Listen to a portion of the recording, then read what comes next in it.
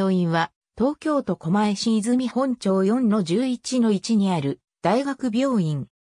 東京慈恵会医科大学国領キャンパスに併設されている。略称は、慈恵医大第三病院。路線バスの最寄り停留所は、慈恵医大第三病院前。小田急線狛江駅、成城学園前駅の広告看板にも、慈恵医大第三病院と略称で書かれている。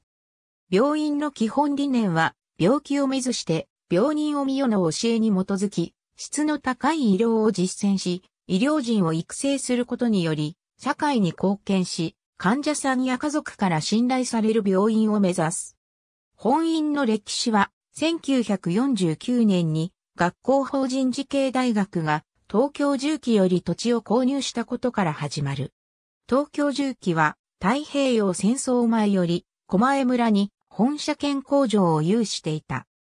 しかし戦後、東京重機の工場は軍事工場であったということもあり、1945年10月5日に米軍第8軍96軍医大隊が接収し、1948年8月2日までアメリカ軍の管理下に置かれた。